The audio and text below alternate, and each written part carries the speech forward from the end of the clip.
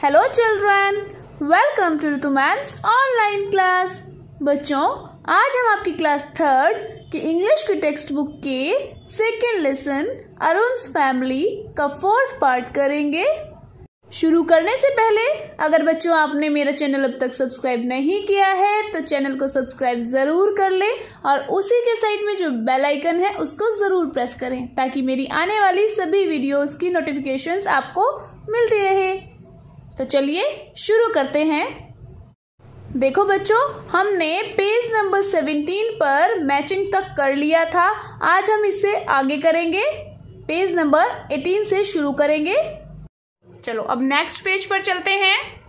Now on page number eighteen page number eighteen पर देखो बेटा, in grammar portion grammar portion में first complete the table table को पूरा करो, ये जो तालिका दी है उसे पूरा करना है। One has been done for you एक आपके लिए किया हुआ है।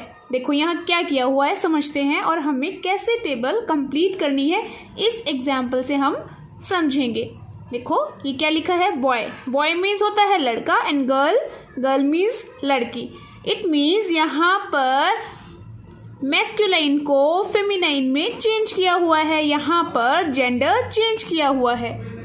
मेस्क्यूलाइन को हिंदी में कहते हैं पुल्लिंग एंड फेमिनाइन को हिंदी में कहते हैं स्त्रीलिंग। ठीक है? इट मीन्स बेटा हमें यहाँ पर जेंडर चेंज करना है। अगर मेस्क्यूलाइन है तो उसको फेमिनाइन में चेंज करना है। फेमिनाइन दिया हुआ है तो उसको मेस्क्यूलाइन में चेंज करना है। लेट स्टार्ट देखो, यहाँ पर है ही ही किसके लिए यूज़ होता है? देखो, अगर हमारे पास नाउन है boy uncle father husband son nephew sir ठीक है? तो हम उनके लिए जब प्रोनाउन यूज़ करेंगे तो ही यूज़ करेंगे, ठीक है? और इट यहाँ पर क्या हो जाएगा? अगर हम फेमिनाइन वर्ड्स के लिए फेमिनाइन नाउन्स जो हैं, उनके लिए हमें यूज़ करना है तो हम शी यूज़ करेंगे, ठीक है? इट मीन्स शी क्या है? फेमिनाइन वर्ड है और ही मेस्कुलाइन वर्ड है, ठीक है? तो ही का क्या हो जाएगा? शी इसी तरीके से देखो, यहाँ तो कुछ नहीं दिया हुआ, यहाँ मैडम दिया हुआ है, मैडम दिया हुआ है तो इसको हमें चेंज करना है किसमें? मेस्कुलाइन में। उसका हो जाएगा सर ठीक है? जेंडर चेंज करेंगे तो। यहाँ है फादर फादर मतलब पिता पिता को चेंज करेंगे तो क्या आएगा? फेमिनाइन बन जाएगा मदर माता। अब देखो, यहाँ कुछ नहीं दिया हुआ था, यहाँ दिया हुआ है सिस्टर सिस्टर दिया हुआ है मतलब बहन बहन का जेंडर चेंज करेंगे तो क्या आएगा? ब्रदर भाई। अंकल अंकल का जेंडर चेंज करेंगे तो क्या आएगा? आंट इसी तरीके से ग्रैंड मदर ग्रैंड मदर मतलब दादी। दादी का जेंडर चेंज करेंगे ग्रैंड मदर का तो क्या आएगा? ग्रैंड फादर मतलब दादा। हस्बैंड इसको हिंदी में पति कहते हैं। जब इसका जेंडर चेंज करेंगे तो क्या आएगा? वाइफ मतलब पत्नी। यहाँ पर देखो नीस दिया हुआ है। नीस का अर्थ होता है भांजी। जब इसको हम चेंज करेंगे मेस्कुलाइन में तो बन जाएगा नेफ्यू नेफ्यू का अर्थ होता है भांजा। यहाँ दिया हुआ है सन मतलब बेटा। अब इसका जेंडर चेंज करेंगे तो क्या आ जाएगा? डोटर बेटी। तो बेटा, ये कंप्लीट हो गए हैं। ठीक है, अब नीचे चलते हैं नंबर सेकंड पर। देखो Read the lesson again and pick out the plural form of words given in the box. पाठ को दोबारा पढ़ो और इस बॉक्स में जो शब्द दिए हुए हैं, उनकी प्लूरल फॉर्म को छाटो। प्लूरल फॉर्म मतलब बहुवचन रूप को। One has been done for you एक आपके लिए किया हुआ है। देखो, यहाँ ईयर लिखा है ना? ईयर का ईयर्स बनाया हुआ है। मतलब क्या किया हुआ है यहाँ पर? ये है सिंगुलर फॉर्म ठीक है? एक वचन रूप। एक वचन मतलब एक, जो संख्या में एक हो। और प्लूरल होता है, जो संख्या में एक से अधिक हो, दो या दो से अधिक, ठीक है? अब ईयर्स लिखा हुआ है। ईयर का मतलब साल ईयर्स का मतलब एक से ज़्यादा साल, ठीक है? अब यहाँ देखो बेटा पेरेंट लिखा हो, अभिभावक।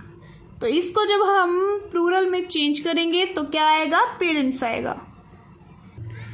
देखो, ये लिख दिया मैंने पेरेंट्स अब देखो बेटा नेक्स्ट है वेजिटेबल वेजिटेबल मतलब सब्ज़ी, और इसका प्लूरल फॉर्म क्या होगा? इसकी प्लूरल फॉर्म होगी वेजिटेबल्स एस लग जाएगा। देखो, लग गया ना एस इसमें भी एस लगा हुआ है, इसमें भी एस लगा हुआ है। इन सभी में जब हमने एस ऐड कर दिया तो क्या बन गई? प्लूरल फॉर्म बन गई इनकी, ये सिंगुलर फॉर्म है। नेक्स्ट है ग्रैंड पेरेंट्स जो दादा दादी हैं, उन्हें ग्रैंड पेरेंट्स बोलते हैं ना? तो इसको जब प्लूरल फॉर्म में चेंज करेंगे तो क्या आएगा? ग्रैंड पेरेंट्स एस लग जाएगा उसके साथ। ये देखो, ऐसे। नेक्स्ट है फ्रेंड फ्रेंड मतलब एक मित्र और जब प्लूरल फॉर्म लिखेंगे तो क्या आ जाएगा? फ्रेंड्स ये देखो, ऐसे, इसमें भी क्या ऐड हो गया है? एस ऐड हो गया है। सभी में एस ऐड होकर प्लूरल फॉर्म बन गई है। देखो बेटा, हम यहाँ पर देखें तो यहाँ पर देखो क्या लिखा है? बेंच लिखा है ना? इसके पीछे क्या लगा हुआ है? सी एच लगा हुआ है। अब इसको जब हम प्लूरल फॉर्म में चेंज करेंगे तो यहाँ पर ई एस लगा दिया है। है ना? ध्यान रखना, देखो एक चीज़। यहाँ पर लास्ट में एस एच दिया हुआ है। इसमें देखो, जब इसकी प्लूरल फॉर्म लिखी गई है तो यहाँ पर क्या हो गया है? यहाँ ई एस आ गया है है ना? अब देखो, यहाँ पर, यहाँ पीछे एक्स दिया हुआ है, यहाँ भी जब प्लूरल फॉर्म बनाई है तो ई एस लिखा हुआ है। देखो, सब में ये ना प्लूरल फॉर्म लिखी हुई है यहाँ पर इनकी।